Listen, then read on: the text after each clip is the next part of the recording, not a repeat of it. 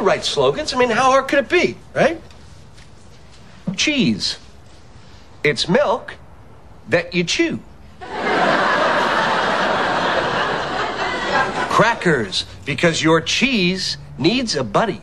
A grape, because who can get a watermelon in your mouth? I got one. Socks. Because your family's feet deserve the best. Honey, leave it to the pros. I actually know someone in advertising.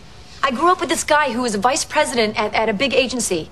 Maybe I can get him to meet you. Give, give me the phone. The phone, bringing you closer to people who have phones. Marriage. It's not for everybody. What's wrong? I am so much older than these other interns. I can't, I can't compete with them. When I saw you're a little older.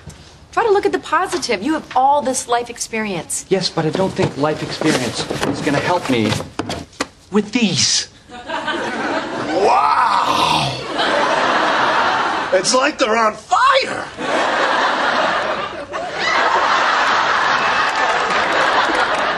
What are they? They're these prototype sneakers, and I have to come up with ideas on how to sell them, which I can't do because no self respecting adult would ever wear these. I'll give you $500 for them. What am I supposed to do with these? Ah, Come on, sneakers are easy. You wear sneakers all the time. Well, first of all, they're not called sneakers anymore. Apparently, they're called kicks or skids. And I think I heard somebody say slorps. Here, look. They got these wheels that pop out from the bottom so you can roll around because apparently walking is too much exercise. kids, kids! Roll your way to childhood obesity. Okay. You start on the image of a guy putting on the shoes. He's about my age. Your age? Uh huh. so he's rolling down the street and he starts to lose control. You know, maybe he falls. Maybe he hurts himself.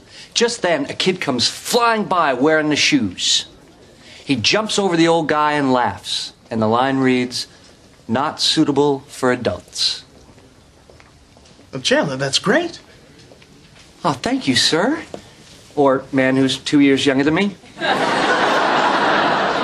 You see? That has a clear selling point. It appeals to our key demographic. How did you come up with that? I don't know. I don't, I don't know. I was just, I was trying to get in the young mindset, and you know, stuff started to flow. That is great. Good work. Thank you. We'll see all you tomorrow.